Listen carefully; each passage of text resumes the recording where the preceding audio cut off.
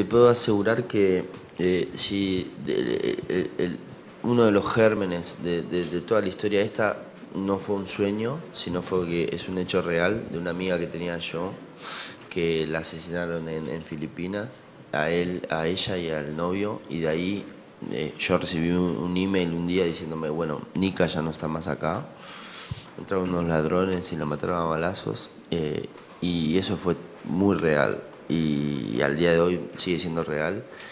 Y eso fue lo que engendró un poco toda esta película. Hay, hay conexiones que uno puede hacer con, con la historia española también, con, bueno, hasta el siglo XVI, con obra de López de Rueda, hay un montón de cosas, pero no están, están todas escondidas. Como un buen poeta, sus referencias son o las captas o no. Lo que tiene que funcionar es el cuento y el hilo narrativo está ahí siempre fuerte y, y la forma de filmar, como siempre, los paisajes de Lisandro, esta vez con el finlandés Timo Salminen, es tremendo, es una, es una belleza esta película, la verdad. Yo estoy tan contento con la película, tan feliz con la película, con haber trabajado con Vigo, con un montón más de gente y demás, que poco importa lo que me diga el público.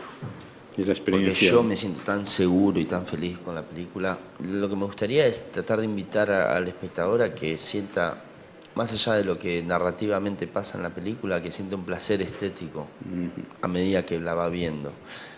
Eh, después lo que cuenta, no cuenta, sí me interesa y me interesa mucho, pero para mí es más importante que cuando a medida que pasa cada segundo uno sienta placer en lo que está viendo delante de sus ojos.